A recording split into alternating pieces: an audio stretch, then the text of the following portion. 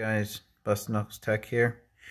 There's a lot of bad information out there, but when you heat these up, the ohm readings are going to change, okay?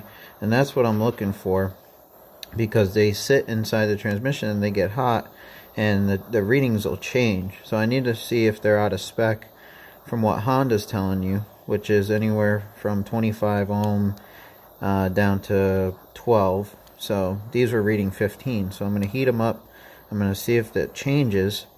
Okay, and if it changes out of spec, then I know that these are definitely failing under heat and necessarily reading good when they're cold.